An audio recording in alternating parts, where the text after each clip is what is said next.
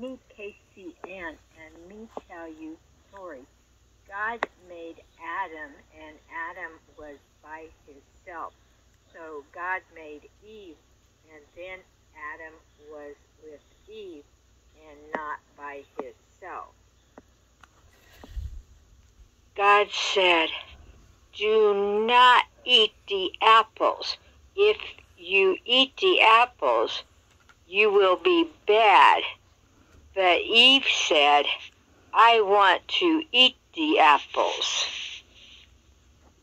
Then Eve tell Adam, we can eat the apples even if we bad because we really want the apples and we want to eat them.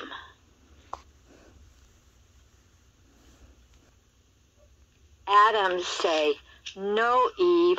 God say, no Eve, no eat apples. You and me cannot eat the apples or we will be very bad. But Eve picked the apples and give one to Adam, and they both eat the apples. And then they try to hide from God, so God will not know they we bad.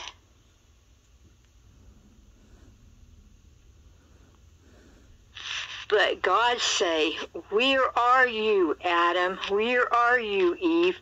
Did you eat the apples? Did you be very bad when I tell you, do not eat them apples?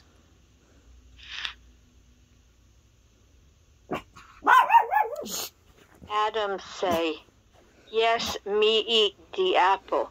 And yes, Eve eat the apple. We are sorry, God, but we are very bad.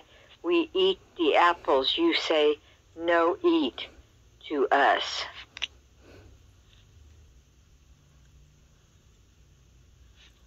So then God say, Adam and Eve, you must leave the Garden of Eden. You cannot live here no more because you are bad.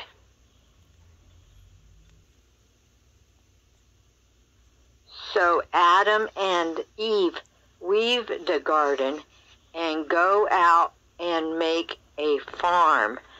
And there they have boys and they have a family all together.